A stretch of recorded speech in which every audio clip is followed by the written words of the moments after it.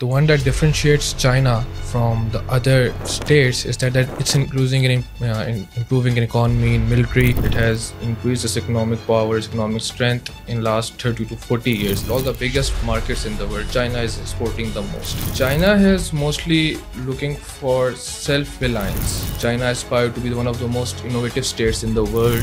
China is interested in making economic partnerships. US makes less economic partnerships and more security partnerships. Hello everyone, my name is Sahir Rashmeen and today I am joined by my colleague Waleed Sami. We will be discussing about the global rise of China and how that has come into being. So uh, Waleed, first, uh, what do you think? Uh, let's uh, let when we're talking about China, its global uh, rise uh, in economy and other sectors as well. So how would you see that? From where can you start if you're trying to you know talk about this? I think that one of the most remarkable thing about China is that it has increased its economic power, its economic strength in last 30 to 40 years, and it has come to the you know top one of the top two economies in power purchasing. Parity is the top first economy in other GDP it is uh, on the second only after the US. So I think no other state has uh, you know accomplished this feat in like in such low time in 30 to uh, 40 years. Like US and other powers they took centuries to achieve this feat. So China in this way is very remarkable. And secondly, if we look at the perspective of from uh, power purchasing parity GDP, it means that that how much state has the power to buy certain things and how much its market is strong enough to buy goods and services. In that, China is on the top of the list. And since Xi Jinping has taken control of China since 2013, it has been uh, on the top of the list and other economies which are uh, high in GDP, let's say according to IMF, the three the states which have above three percent power purchasing parity are India, uh, U.S., Germany, Japan, and till 2022, I believe it's Russia as well. So these are the modern states with highest GDP, but only they are behind China. And in all of these states, China is the biggest importing partner.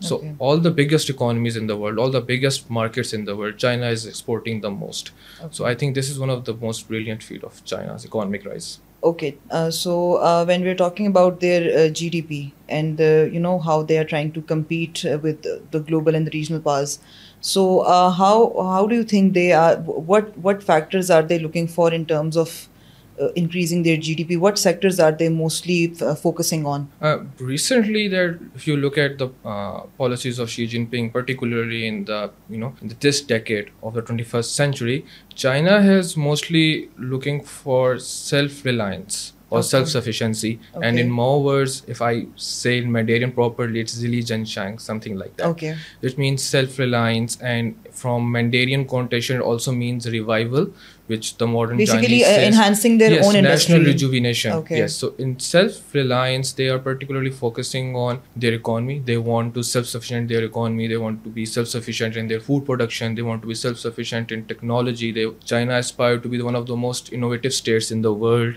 Okay. And they are also very much um, interested in you know self-sufficiency in energy sector and for that china is uh, particularly focusing on renewable energy sectors that's why i think the uh, goal of chinese in this era is particularly under the Xi Jinping.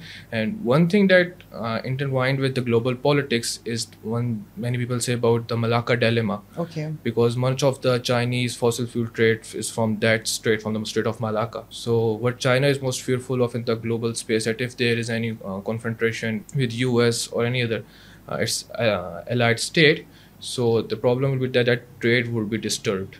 So if that happens, then China's economic engine will slow down and it will soon start to decline. So China want to be self-sufficient in energy. That's why they are more improving toward the renewable energy sector and also they have started the project of BRI and CPEC where they have started connectivity in the western part of China so they are not that uh, cheap alternatives. They're a bit expensive than the traditional method of trade, but still it will become become a good alternative for China.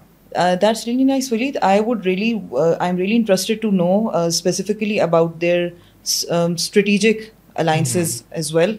Let's say that um, इनकी ऐसी कौन alliances that have actually helped them to uh, have a grasp on their uh, regional and global partners as well because obviously if they are focusing on internal uh, you know the, dom- the domestic market they are trying to enhance uh, their originality they're trying to focus more on uh, things that are made and manufactured by China. So obviously they do have uh, economic and strategic alliances that are helping them reach to those specific markets as well. So if you can tell me about that as yeah, well. Yeah, sure. Uh, when we particularly talk about the word alliance, it is about militarily terms. It means that have you have a uh, like defense alliance with another state for or common security alliance, like in the case of NATO.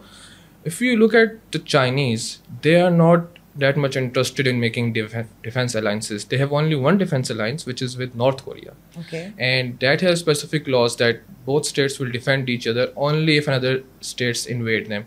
Like in the case if North Korea starts invasion on South Korea, then Okay. China is not fine to come to help. So Putin North- is not the only friend of uh, North Korea. Actually, China was also they there. have a, they have only China has only one treaty, defense Okay. treaty that is only with the North Koreans. Otherwise, China is not much interested in making defense treaties. okay. Whereas China is interested in making economic partnerships, and in the case of US, it's the opposite. US makes less economic partnerships and more security partnerships.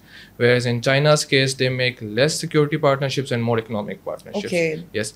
So when it comes to economic partnership, the one of most you can say flagship project is BRI Belt and Road Initiative, Hmm. and for that China is like partner to 155 states approximately. So China is like uh, like building and building infra- we call we also call it global infrastructure initiatives. China is like you know helping other states to build infrastructure so that they can have more trade and connectivity. Like it's like reviving the old Silk Road. Now they also have the maritime Silk Road. So China just want to improve the infrastructure of the world, improve connectivity so that all the states can trade more. Okay, that's really interesting. Uh, uh, what about uh, their interest with, uh, you know, one of their regional adversaries, uh, India? How Mm-hmm. are they, uh, you know, taking care or, or ca- catering to the trade, economic uh, initiatives, or basically any partnerships with Mm-hmm. uh, India? Yes. I can say there's there's a relationship of love and hate. Yeah. Hate in terms of military and love in terms of economy. Uh, since the Galwan crisis and China has China and India have a a lot of border issues with them. Okay. But I think that China look these issues as high political areas and there are certain low political areas like economy other stuff. So China is try to separate these two sectors and Okay. they, they believe that okay we we have these kind of issues, we have strategic issues, but we can still work on economy. So Because uh, exactly because Ladakh has been one of you know the core uh, conflict uh, zone. yes, They still are uh, having a very high trade with India. in with, so what in your like in your view let's put aside whatever is there in uh, factually but like just in your view why do you think are they uh, following this uh, pattern of uh, regional uh, relation with india what what do they see in india in the future if they are like you know trying to maintain a cordial economic ties with them uh, I think it's not particularly about the Indians. It's about the Chinese thinking. okay like if you look at the case study of uh, us we have a lot of issues with us but they are still the largest trading partners definitely and, and yeah in case of taiwan we can see the example of taiwan like china doesn't consider it a country it's a part of itself and there's a lot of uh, in the recent past two three years there are a lot of issues between china and taiwan but still china continue to trade with taiwan okay so I think it's a part of Chinese thinking. Like they just want to trade instead of if, if they know if they have a lot of political issues with another state, but they still want to put them aside and trade. So I think they believe that trade is a very good confidence building measure, a good CBM. and maybe like an interdependence way of ensuring that there can be less uh, uh, you know uh, factors that would go towards a conflict you know Yes. making sure that Mhm. every country is economically dependent on each other to you know give Yes. less way to the Yes, to in- any side interdependence will conflict- automatically increase the cost of war. So when the cost of war will be increased, so states will be less inclined toward the war and more toward the economic benefits of interdependence. okay Yes. So, um, just like uh, uh, China's uh, very huge and historic uh, investments in uh, Pakistan, uh, what do you think uh, in in terms of China's uh, reach towards the Middle East and towards uh, the Central Asia? Uh, how is China growing uh, in Middle East, in Middle East instead of you know the long hegemon there, uh, USA? How are how is basically US replacing China replacing USA? uh, towards the Middle East in terms of economy. One thing that China is good in it is that whenever US leaves some space in the international arena, China is automatically filling it up. Okay. It's very speedily. And we can particularly see the example of uh, relationship normalization of Iran and Saudi Arabia. Oh yeah. Yes, and that comes under the China's global security initiative. So it has other initiatives other than BRI like global security, global civilization initiative, global development initiative. So China through these initiatives always fill up the space, and these initiatives are well inclined with the UN Charter. Okay. So that's China. China is always picking up like if there is an economic space, a political space, or any uh, soft power space in any region of the world, not particularly in Gulf, China will con- uh, come and try to take that space. There's another case study, very important case study, which is in uh, Africa. Like since Af- Africa is a like uh, after World War II, not many states have invested in those regions, but Yes. China is in- increasingly investing in uh, uh, Africa. And one of the good reasons is that that Africa is home to 30% of world useful minerals that are known to the mankind still. Okay.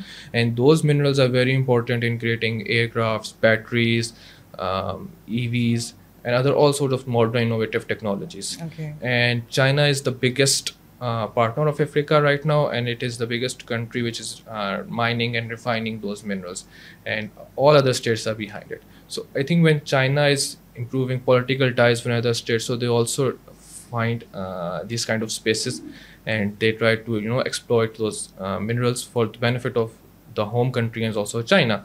Another case study would be of Afghanistan. Afghanistan is also home to trillion of dollars of uh, rare earth metals, which are also important in. And USA left a very huge space. US there, yeah. has left a very huge space, and now China wants to cover that space as well. Okay. So I think it's all about that. Whenever US leaves a space somewhere, China comes and try to fill up that space. That's interesting. So uh, I was reading a little bit about their uh, defense industry. I see that they are uh, enhancing that with in terms of uh, investing in a lot of uh, technology, technological advancements. Basically, they have been investing a lot in uh, the AI. They have been investing a lot in cyber security and cyber warfare as well.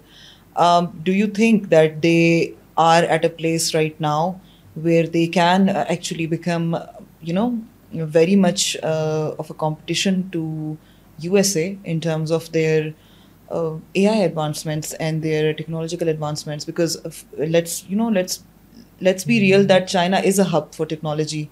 And we can never deny that fact. How Hmm. they have enhanced themselves in the last couple of years and have uh, achieved an edge over the Hmm. defense uh, over the defense industry, the global one, specifically through a lot of uh, military exercises that they have conducted with uh, Hmm. regional and global uh, partners. So you think there is there will come a time, or are we near that time where they can compete with you know their regional and global adversaries in terms of uh, their AI Hmm. uh, grasp on AI and grasp on technology? Uh, well, when it comes to modern military technology, I don't think there is any rival to US. Okay. US is one of as one of the most sophisticated military technology in the world, and I think it has three times more budget than the China. And I think the whole NATO combined, US com- uh, invest more than any other state. So I think in terms of military, China has a long way to go. Okay. One particular sector we can say in case of maritime or in case of navy, uh, the PLA Navy, the People's Liberation Army Navy, it has it is the, one of the biggest fleet in the world, the biggest fleet in the world in terms of navy. But still, the quality of those uh, ships, those uh, uh, war ships, they are not comparable to the U.S. military, U.S. Navy. Okay. So I think China still has a lot of uh, you know space to cover in Okay. this particular sector. Other than that, you was talking about AI and other technologies. As I said earlier, China do wants to become one of the most innovative states. So China is working on that, but but it still has a lot of you know ground to cover. Okay, I uh, have a slightly different uh, uh, understanding, but may, let, like maybe I can just add on to what you just said.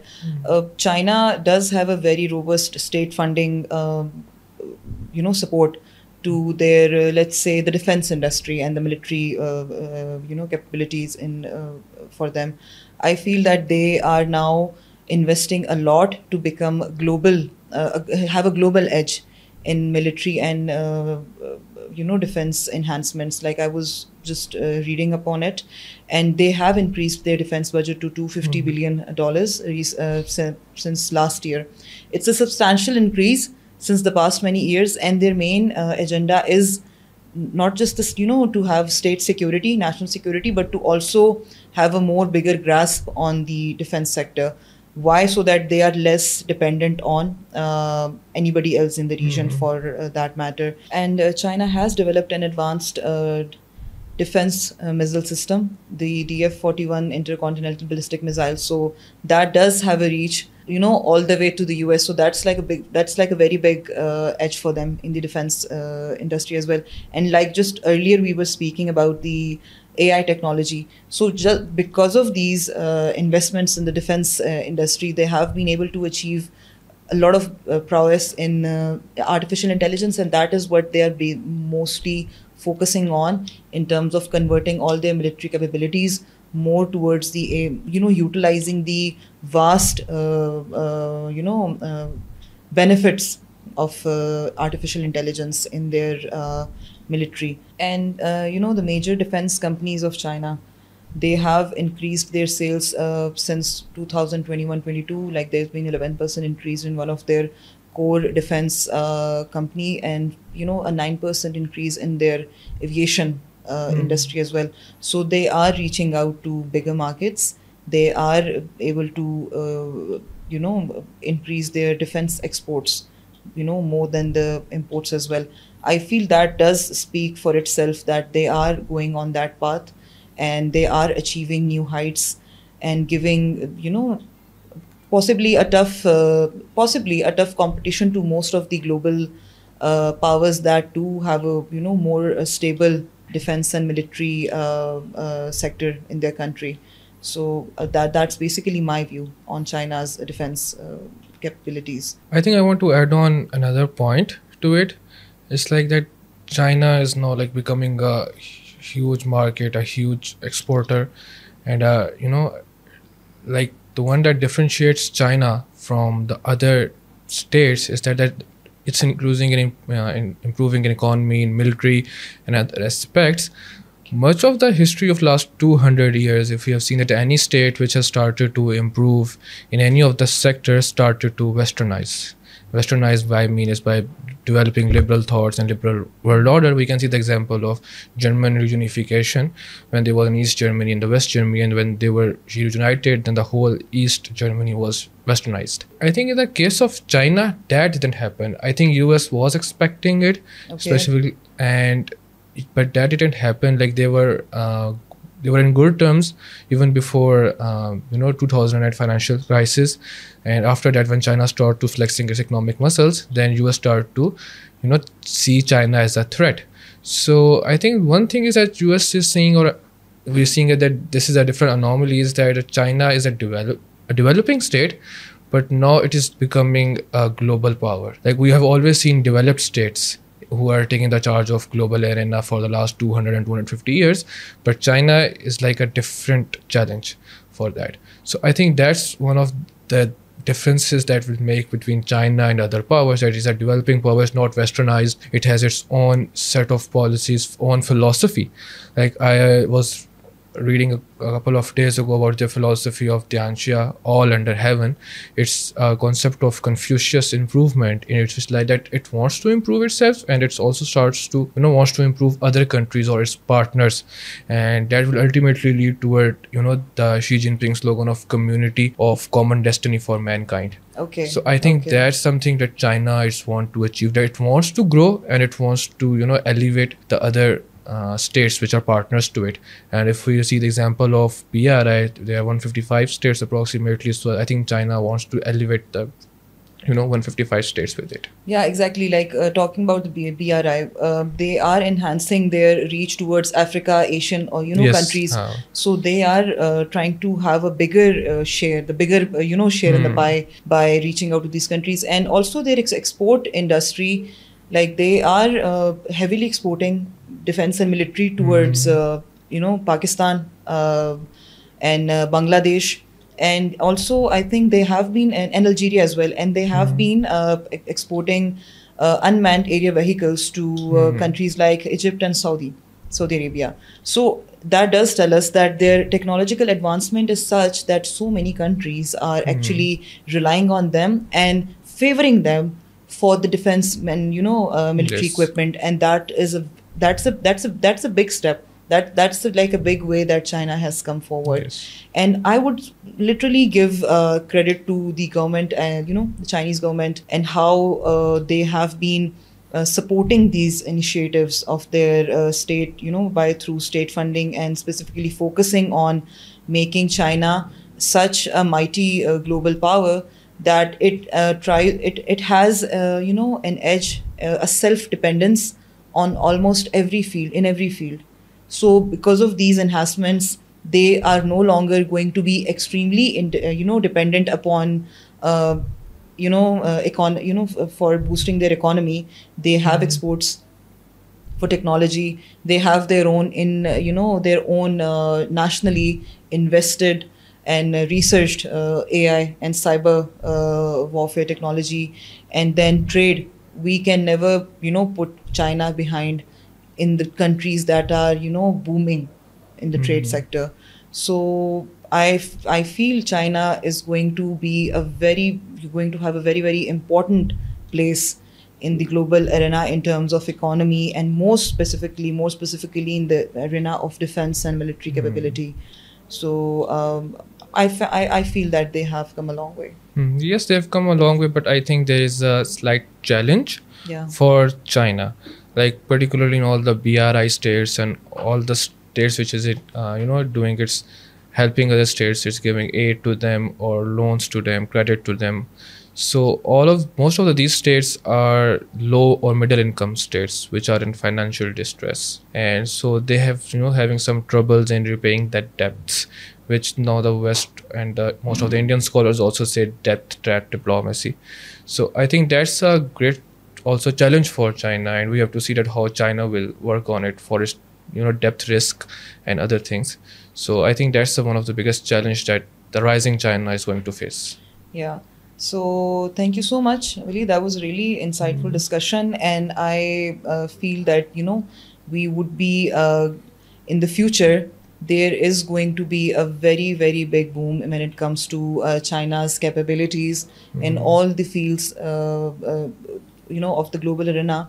And they will be able to overcome these challenges with time. I do feel they have the capability and they, they have the capacity to do that and because of their alliances and because of their uh, strategic partnerships they are ensuring that you know in the next you know decade or so they reach that level so thank you so much. Thank you. For your time. It thank was a lovely you. discussion.